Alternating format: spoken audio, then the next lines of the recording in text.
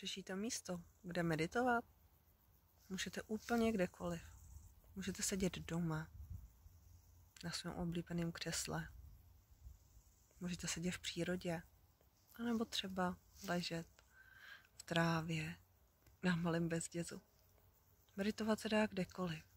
Důležitý je se naučit vypnout hlavu.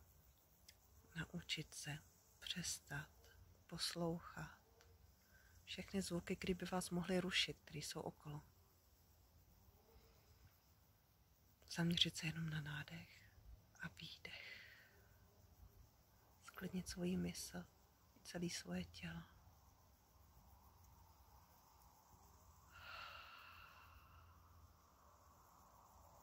Poslouchat se třeba do šumění vánků v listech stromů. Uvědomovat si, jak to blahodárně působí na tělo i na mysl. Pouštět po těch lístečkách všechny ty myšlenky, které se vám vkrádají do hlavy.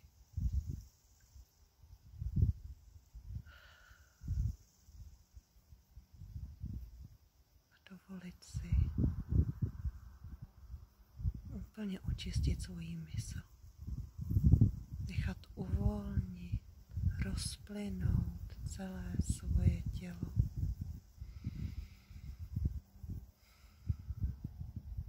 Vnímat ten čistý prostor, který se objeví uvnitř vás.